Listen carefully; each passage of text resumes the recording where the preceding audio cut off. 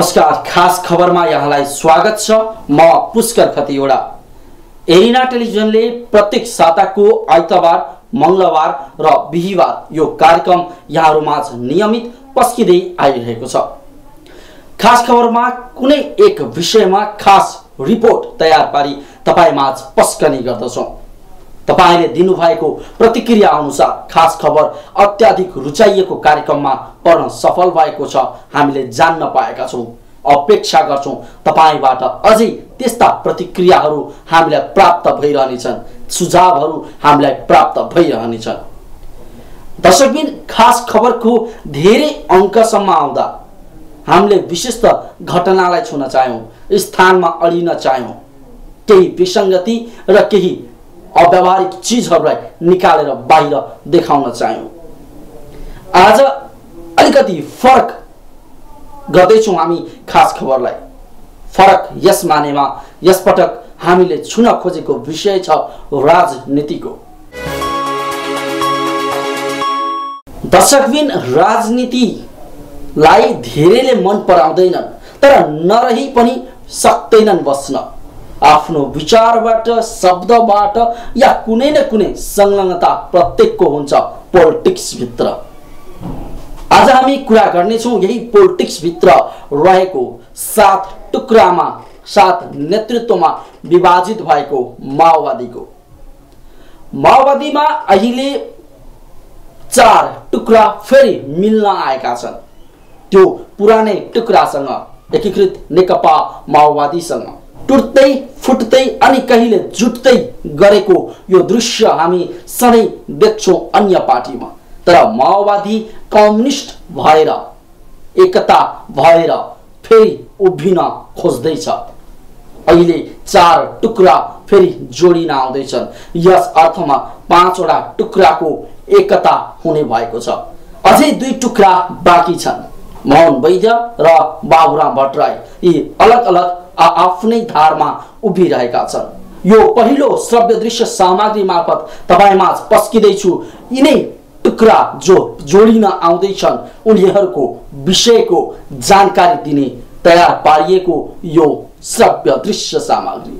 माओवादी बीच एकताको कुरा चल्न थालेको तिन वर्ष भयो। अहिलेसम्म कुरामा मात्र सीमित रहेको माओवादीका नाममा पार्टीको एकता हुन सकेन। साततिर बाँडिएर विभाजित भएको माओवादी आफैमा अलग अलग धारमा हिँड्दै आएको थियो। टुक्रामा विभाजित पार्टी नाम अनुसारको कामका लागि गन्तव्य नभेट्दा र छिड हुँदै जाने सम्भावनाले यस पटक पाँच माओवादीका नाममा पार्टी एकतामा बाँधिन लागेका हुन्।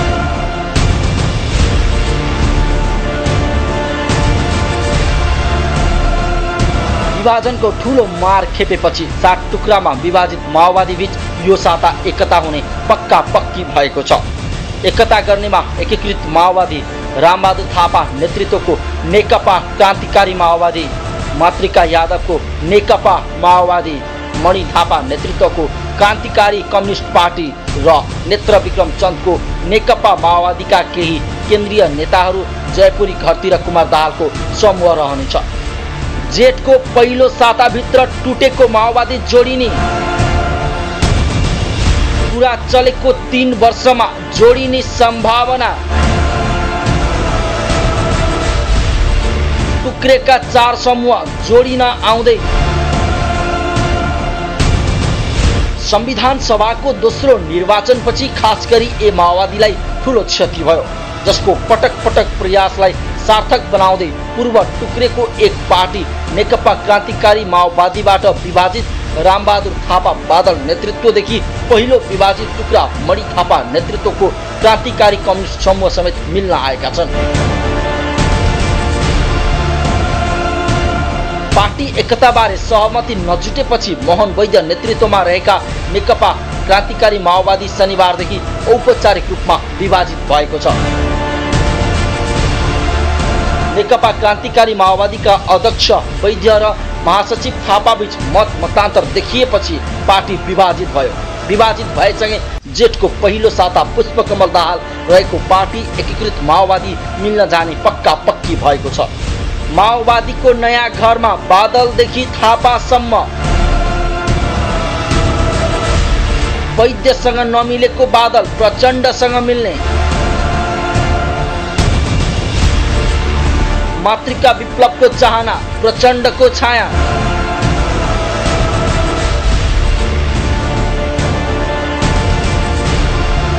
प्रचण्डको गुटमा जयपुरी र कुमार। ए माओवादी सहित चारवटा माओवादी पार्टीका केन्द्रीय कार्य समितिले एकताको पक्षमा निर्णय लिँदै गर्दा एकताको बाह्र मुदे वैचारिक आधार समेत अनुमोदन गरेको छ। पार्टीको नाम एकीकृत नेकपा माओवादी युद्धकालकै नेकपा माओवादी वा कम्युनिस्ट पार्टी मात्रै राख्ने भन्ने विषयमा शीर्ष तहमा छलफल जारी छ। छलफलका क्रममा नेकपा माओवादी संयोजक मातृका यादवले पुरानै नाम राख्न दबाब दिँदै आएका छन्। टुङ्ग्याउन बाँकी विषयमा सहमति जुटे जेठ पाँच गते संयुक्त बैठक गरेर एकताको घोषणा गरिने तयारी छ।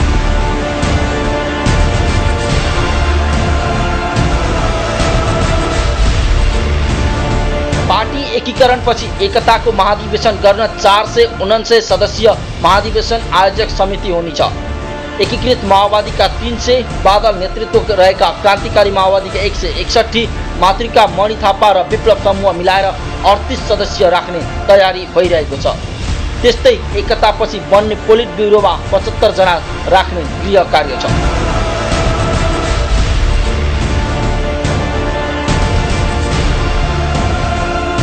ती मध्ये एकीकृत माओवादीका सडतिसजना र थापाका सत्रजना रहनेछन्। बाँकी मातृका यादव मणि थापा जयपुरी घरती लगायतलाई समेटिन्छ। एकताको बाह्र बुधे आधार एकै दिनमा अनुमोदन। पार्टीको नाम पुरानै राख्न मातृकाको दबाव। एकता महाधिवेशनमा प्रचण्डका तिन सय सदस्य।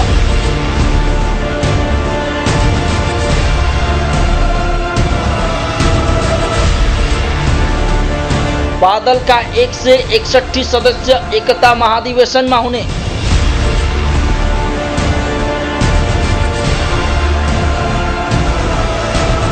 मातृका मणि र विप्लव समूहका अडतिस सदस्य।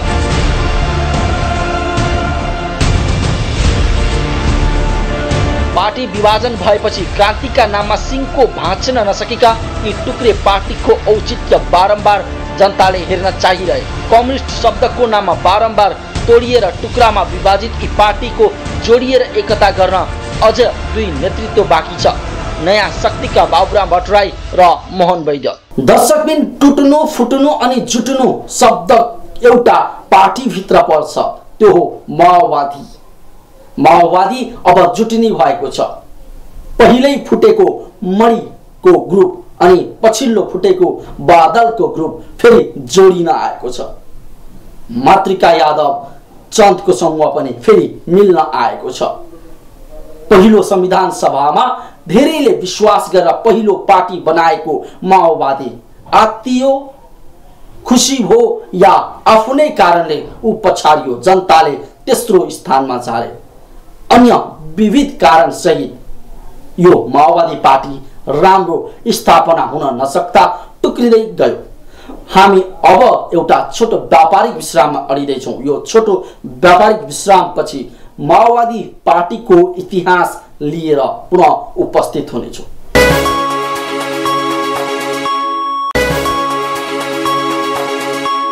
दर्शकबिन यो छोटो व्यापारिक विश्रामपछि तपाईँलाई पुनः स्वागत छ। खास खबरमा विश्राममा जानु अघि माओवादी विभिन्न टुक्रामा विभाजित भएर जोडिँदै गरेको साङ्लीहरूको कथा देखायौँ। जोडिन खोज्दैछ जेठको यही पहिलो साताबाट। अब हामी माओवादी पार्टीको इतिहासमा जान चाहन्छौँ। इतिहासका पानाभित्र माओवादीको नाममा दुई व्यक्ति उभिन्छन्। एक त्यो कम्युनिस्ट भन्ने शब्द लिएर हिँड्ने पुराना इतिहासमा स्वर्ण अक्षरले नाम लेखिएका नेतृत्वहरू अनि अर्का व्यक्ति उभिन्छन् जो नेपालमा प्रचण्ड पथ बनेका छन्। पुष्पकमल दाहाल प्रचण्ड। उनको जीवन कसरी माओवादीसँग जोडियो कसरी अध्यक्ष भयो भने अनि कसरी त्यो रथ हाँक्ने क्रममा धेरैजना रथबाट खस्दै गए अहिले फेरि त्यही रथमा फर्काउन ध्याउनमा छन् उनी। यो इतिहास जोड्दछौँ जसले बाहन्न सालमा थालेको सशस्त्र जनयुद्ध त्रिसठी सालमा एघार वर्षपछि आउँदा हजारौँको ज्यानसहित क्रान्तिको नाममा एउटा परिवर्तन ल्यायो अनि सरकारमा आबद्ध भयो। आज देशको तेस्रो ठुलो पार्टीको रूपमा उभिएको छ जो हिजो पहिलो ठुलो पार्टीको रूपमा दर्ज भएको थियो। यिनै जानकारी समेटिएको यो सभ्य दृश्य सामग्री तपाईँको साथ पस्किँदैछु अबको क्रममा। दुई हजार बाहन्न साल सशस्त्र जनयुद्धको थालनी मिति अनि दुई हजार त्रिसठीमा सार्वजनिक हुँदै एकीकृत नेकपा माओवादी सरकारमा प्रवेश गर्यो।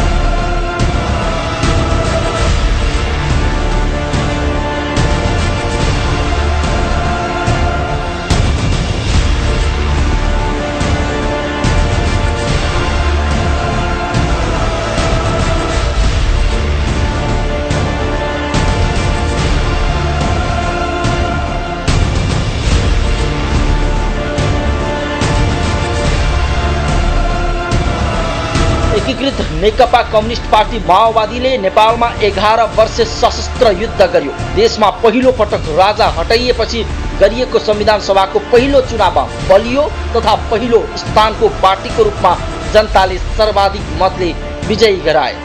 तर दोस्रो पटक भने संविधान सभाको चुनावमा देशकै लज्जास्पद हार बेहोरी देशको तेस्रो ठुलो पार्टीको दलमा खुम्चियो। पहिले जितेको पार्टीलाई पछि जनताद्वारा हराइएको पार्टीको रूपमा स्थापित भयो। मार्क्सवाद लेलिनवाद माओवादलाई अङ्गालेको यस पार्टीले पछि माओवादलाई आफ्नो मुख्य नीतिको रूपमा फ्युजन गरी प्रचण्डवाद बनायो। त्रिसठीमा सार्वजनिक भएका थिए जनयुद्धका रचयिता प्रचण्ड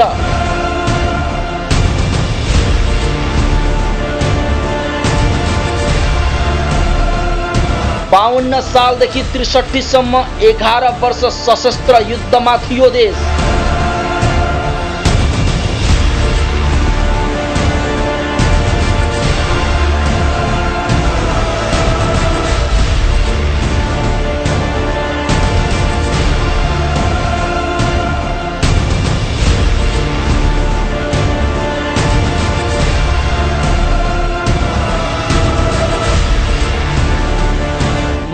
लेनिन र माओको पथलाई फ्युजन गरी प्रचण्ड पथ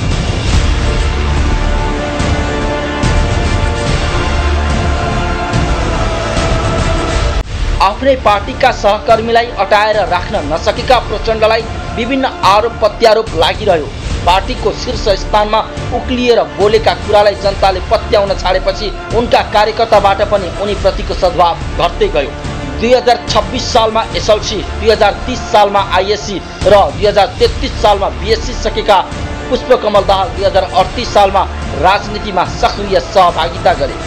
दाहालले दुई हजार पैँतिस सालदेखि भूमिगत जीवन हुँदै दुई हजार छ्यालिसमा नेकपा मसालका महामन्त्री भई दुई हजार अडचालिसमा नेकपा एकता केन्द्रका महामन्त्री भए।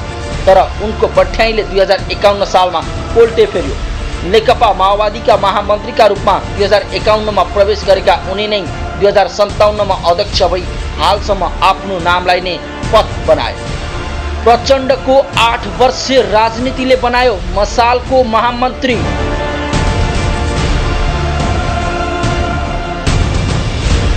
महामन्त्रीका रूपमा दुई हजार एकाउन्नमा छिरेका थिए प्रचण्ड।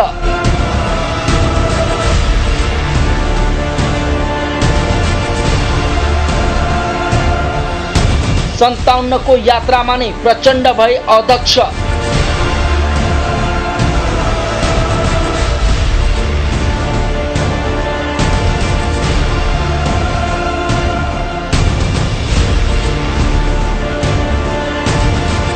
भारतको पन्जाबमा बनेको थियो प्रचण्ड पथको अवधारणा।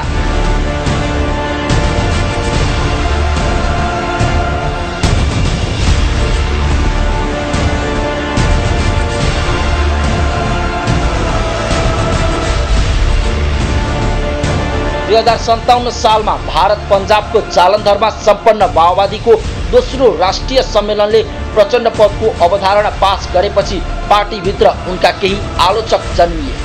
दोस्रो राष्ट्रिय सम्मेलन पारित गरेको दस्तावेज अनुरूप माओवादीले दुई हजार अन्ठाउन्न सालमा आफ्नो छुट्टै जनमुक्ति सेना नेपाल गठन गर्यो। जसको सर्वोच्च कमान्डर प्रचण्डलाई नै बनाइयो। दुई हजार एकसट्ठी भदौमा फुङटिङवाङमा सम्पन्न बैठकले रणनैतिक प्रत्याक्रमणको योजना कार्यान्वयन गर्न पार्टीको सैन्य र राजनैतिक फाट दुवै प्रचण्डको नेतृत्व हुनुपर्ने निर्णय गरेपछि डाक्टर बाबुराम भट्टराई समूहसँग उनको मत मतान्तर हुन पुग्यो।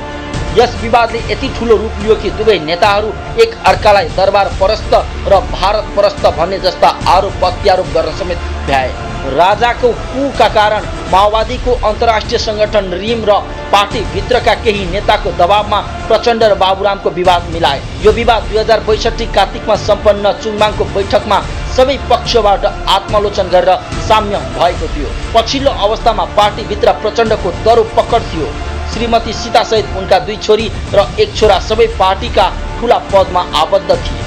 दुई हजार सन्ताउन्नदेखि आक्रामक देखिएको माओवादीले जनयुद्धको नाममा हजारौँको ज्यान लियो।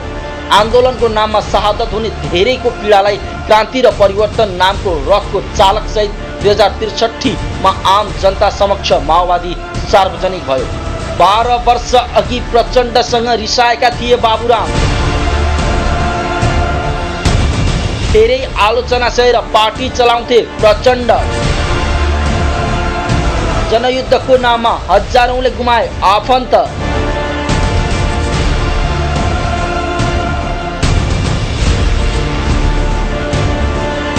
दुई हजार एकाउन्न सालदेखि दुई हजार बैसठी सालको अवधिलाई नेपाली कम्युनिस्ट आन्दोलनको इतिहासमा क्रान्तिकारी छलाङको मोडको रूपमा लिइन्छ।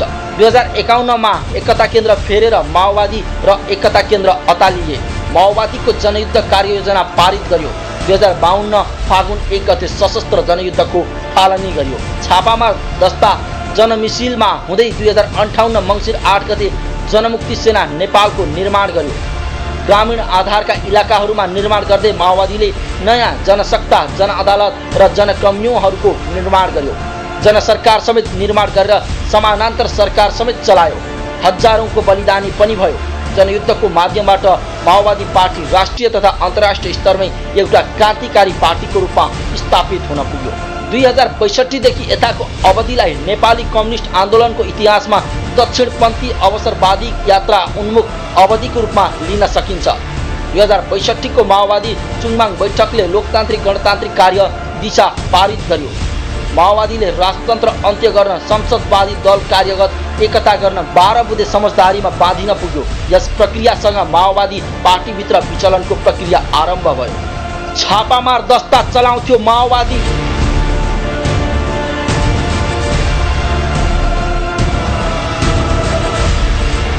आफ्नै जनसत्ता र जन अदालत चलाउँथ्यो माओवादी।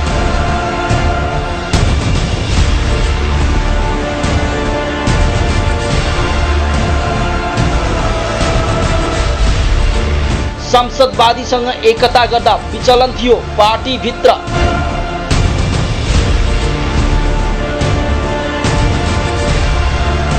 दुई हजार त्रिसठी मङ्सिर पाँच गते सरकार एक वृहत शान्ति सम्झौता गर्ने नाममा जनयुद्ध समाप्त भएको घोषणा गर्न पुग्ने यसको यथेष्ट प्रमाण थियो। माओवादी शान्ति चाहन्थ्यो। चुङबाङ बैठकको निर्णय र सात संसदवादी दलसँगको सहयात्राले दुई हजार सात सालदेखि नै नेपाली जनताको अपेक्षा गर्दै आएको संविधान सभाको चुनाव सम्पन्न भयो र दुई सय चालिस वर्ष शाहवंशीय सामन्ती राजतन्त्रलाई अन्त्य गरेर गणतान्त्रिक घोषणा गर्ने काममा उपलब्धि भयो। तर पटक पटक फुटमा रहेको माओवादी पार्टीका धेरै टुक्राहरू एकतामा बाँधिन नाम मात्रको प्रयास गर्थे। आफ्नो स्वर ठुलो पार्न सभा सम्मेलन चलाउँथे। तर यथार्थमा कार्यको कुनै एक परिणति पनि देख्न सकिँदैन थियो। आफैमा पुष्पकमल दाहाल प्रचण्ड धेरै आलोचित हुँदै आफ्नै कुराबाट अल्झिन्थे। उनको अल्झाइलाई उठाउन मद्दत गर्थ्यो डाक्टर बाबुराम भट्टराई पार्टीभित्र रहँदा। तर अहिले डाक्टर बाबुराम भट्टराई नयाँ शक्ति खोलेर आफ्नै व्यापार गरिरहँदा यता प्रचण्ड पद एक्लिएको थियो। सोही एक्लिएको पार्टीमा साथ खोज्दै अन्य चार टुक्रालाई मिलाउनुको विकल्प थिएन। जे होस् कम्युनिस्टको फुट र आन्दोलनलाई फर्केर हेर्दा पाइने चित्र न्यूनतम लक्ष्य र समाजवाद तथा साम्यवादलाई अधिकल्प मात्र भेटिन्छ। दर्शकबिन माओवादी पार्टीको जानकारी पस्किरहँदाखेरि धेरै कुरा छुटे होलान् केही कुरा थपिए होलान्। त्यो स्वाभाविक मान्दिन हुन अनुरोध गर्छौँ। हामीले जोडिने हरेक कुराहरू कुनै सूचना र व्यक्ति विशेषका भनाइलाई नै आधार मानेर तयार पारेको हुनाले हाम्रो उद्देश्य कुनै एक नीतिसँग मेल खाँदैन। हाम्रो नीति मात्र जानकारी पस्किनु हो। हामी आफूलाई समाजको ऐना भन्दछौँ। जे छ त्यही देखाउने हाम्रो प्रयास हुन्छ। हामी भ्युजभन्दा न्युजमा बढी विश्वास गर्छौँ। यही जानकारीका साथ सम्पूर्ण इन्टायर टिमसहित अर्को खास खबरमा भेट्ने बाचा गर्दै तबसम्मका लागि मलाई पनि आज्ञा दिनुहोस्। नमस्ते। शुभरात्रि।